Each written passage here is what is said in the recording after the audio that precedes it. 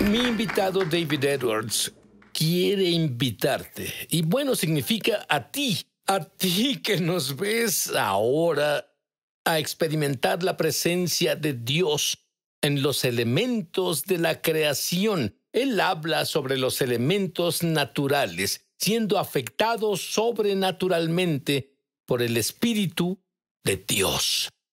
David, ¿a qué te refieres con elementos naturales? ¿De qué clase?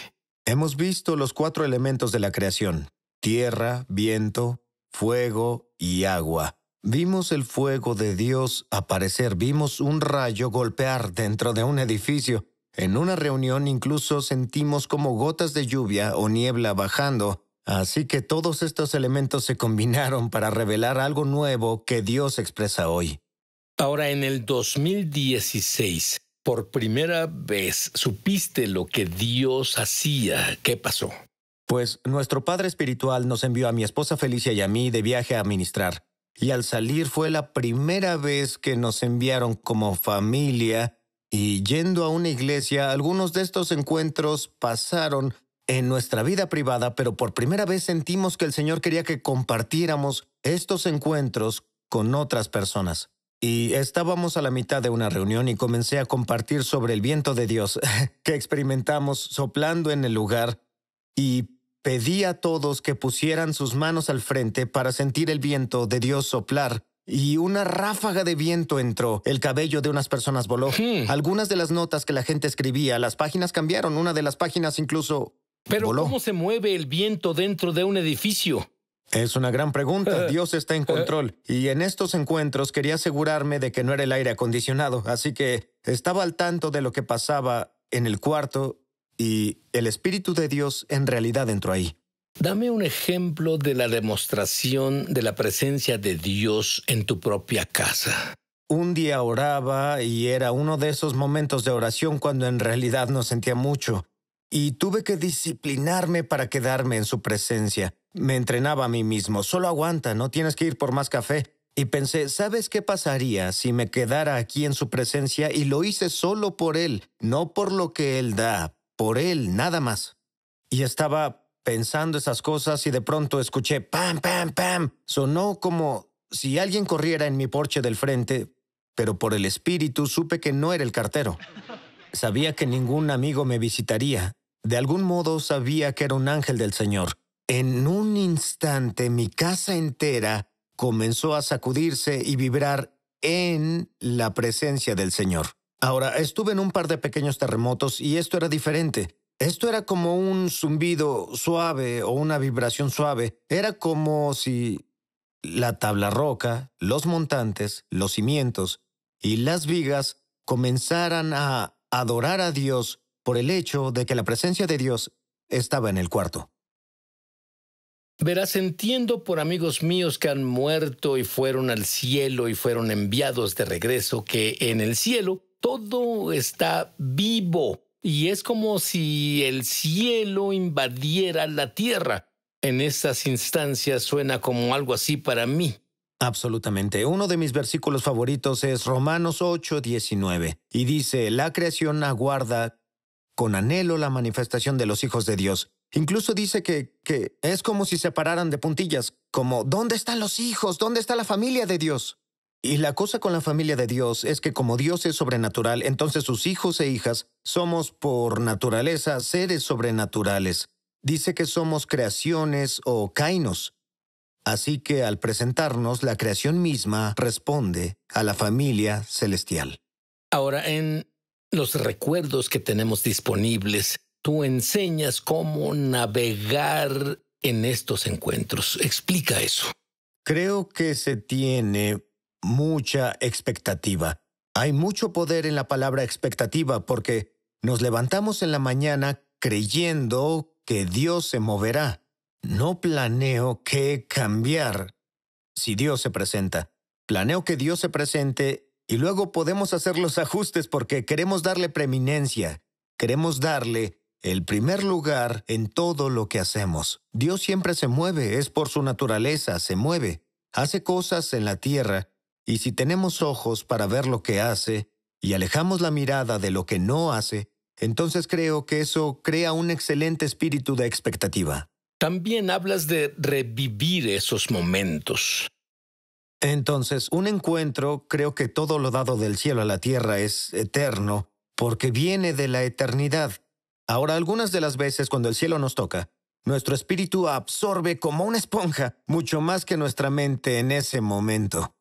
Y a unos de mis encuentros los vuelvo a visitar, entro en oración y medito y vuelvo al encuentro y visito ese encuentro y me doy cuenta, ah, caray, Dios hizo mucho más en ese momento de lo que noté la primera vez que vine. Dios es tan bueno, tan glorioso, y solo un momento en su presencia nos revitaliza, nos transforma. Fui liberado de cosas con las que no sabía que luchaba en la presencia de Dios, porque se te pega, te revitaliza y te llena para el futuro.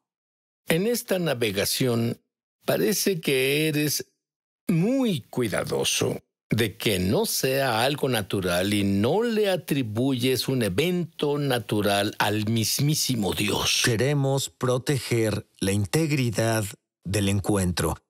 Siempre que entramos en un ambiente, observamos lo que sucede en lo natural. Sentimos el viento de Dios soplar muchas, muchas veces, pero me aseguro de que no atribuyo el viento de Dios al ventilador que está junto a mí o al aire acondicionado. Una vez el viento de Dios vino a un grupo de estudiantes jóvenes a quienes ministraba. Ahora es una cosa sentir el viento de Dios tú solo u orar por alguien en una línea de oración, pero el viento de Dios no se puede fingir en un cuarto lleno de adolescentes. Y eso fue desafiante. Sabía que el Señor quería compartir este encuentro con ellos. Era una charla de pureza y ¡Wow! ¿Qué tal si resaltamos la pureza con un toque extravagante de la presencia de Dios?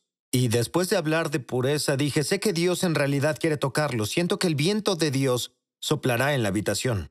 Y pensé que tendría que orar para guiarlos en esto. Pero antes de abrir mi boca, el viento de Dios sopló en la habitación, sus ojos se abrieron grandes y con la boca abierta. Muy bien, ah, tú estabas en una reunión de campaña y una señal muy sobrenatural ocurrió. De hecho, nunca escuché que esto pasara antes. Dime qué pasó. En la reunión de campaña con Liv Hetland y Catherine Ronola, y nos paramos al frente y la adoración comenzó. Ahora fueron varios días maravillosos, se salvaron muchas personas y muchas, muchas personas sanaron durante esas reuniones. Y sentados ahí en adoración, una joven se acercó a mí y dijo, puedo mostrarle una fotografía que acabo de tomar con mi celular hace unos segundos. Y dije, bien, claro, quisiera verla. Y cuando puso el celular frente a mí, te lo juro, no estaba preparado para lo que estaba a punto de ver. Miré abajo y la fotografía mostraba la fila de sus amigos y el ángulo de esta apuntaba hacia arriba al techo de la carpa que nos cubría. Solo que cuando vi desde dónde venía la lona, se desvaneció en el cosmos como si viera una imagen del cielo tocando la tierra dentro de la fotografía. Incluso los postes, wow, que sostenían la lona, las estrellas brillaban a través de los postes y no hubo tiempo para que eso fuera retocado. Vi a esa joven en unas reuniones previas y sabía que amaba al Señor y ella estaba tan asombrada como nosotros al ver una fotografía así. Entonces las expectativas de esta mujer en particular eran muy altas. Ese es el propósito de estas señales y maravillas. ¿Y qué pasó al otro día? La cosa con los encuentros es que te llevan a más encuentros y más de Jesús. Tal vez los conozco así hoy, pero esto sube en espiral, se expande para que pueda conocerlo más ese día, y después de la reunión el corazón de la joven comenzó a arder. Ella miraba la fotografía esa noche, y al día siguiente ella llegó a la reunión no solo lista para tomar fotografías y crear memorias de la reunión de campaña, ella llegó esperando ver a Dios hacer algo más en lo sobrenatural. No había avanzado tanto la reunión cuando la vi e hicimos contacto visual y ella caminó hacia mí y comencé a sentir escalofríos y supe, supe que ella tenía algo, porque su corazón estaba lleno de expectativa por ver a Dios moverse. Entonces, antes de que la reunión comenzara, ella rodeó la carpa y miró diferentes lugares y solo tomaba fotografías. y una de las fotografías, la que ella me mostró, el cosmos, las estrellas, la gloria celestial, reemplazó las lonas de la carpa y esta era la tienda grande para bodas. Y subía en el centro hasta un punto y luego caía y luego subía hasta un punto y bajaba de nuevo. Y lo que deberías ver en la fotografía era una lona blanca desvanecida porque las luces estaban debajo de ella y había adoración, pero eso no era lo que veías. Cuando veías la fotografía, veías el cosmos brillar fuera de la carpa. Ahora, normalmente eso era arriba en el cielo, detrás de la tienda, pero lo que ella capturó fue un vistazo profético de todo lo que pasaba en el espíritu. Ella pudo capturar en la fotografía la gloria en los cielos brillando ahí dentro en la fotografía. Tú dejas claro que las señales y maravillas y experiencias no son, escucha esto, no son nuestro destino. Nuestro destino es Jesús y es de Él. Siempre nos regresará a Él. Un encuentro genuino es un encuentro en su presencia. Su presencia significa su rostro. Nunca dejé un encuentro como este ah, sin querer hacer algo más que arrodillarme y agradecer a Jesús por tocarme de esa forma tan hermosa y maravillosa, Sid. Y bueno, la Biblia dice, todo lo que digan en la oscuridad se dará a conocer a plena luz y lo que susurren a puerta cerrada se proclamará. Pero hay un lado inverso de eso. Yo pienso que cuando experimentamos a Dios en público se vuelve una botella de alabastro, que podemos llevarnos de esa experiencia. Y luego cuando nadie nos ve podemos volver Debemos inclinarnos, derramar esa experiencia a sus pies y decir, Jesús, yo te adoro, te amo, te adoro, gracias, porque podemos experimentarte de una forma tan increíble. Es muy importante antes de que David ore por ti ahora. Repite esta oración después de mí. Dilo desde el fondo de tu corazón y fuerte. Querido Jesús, he cometido muchos pecados y creo que moriste por mis pecados. Y por tu sangre, por tus llagas, fui del todo perdonado. Ahora que me perdonaste en el nombre de Jesús, te pido que seas mi Salvador y Señor. David ora.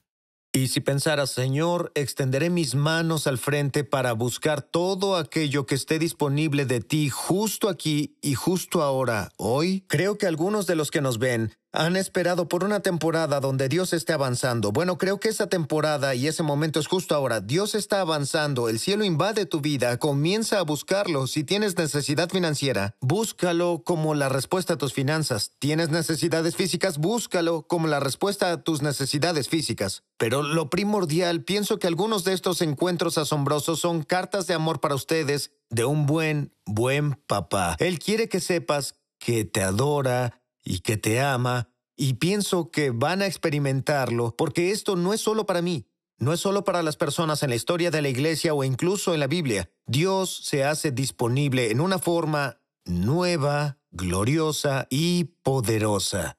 Y Jesús toca a tu pueblo con tus encuentros y con tu gloria para que puedan conocerte más en el nombre de Jesús.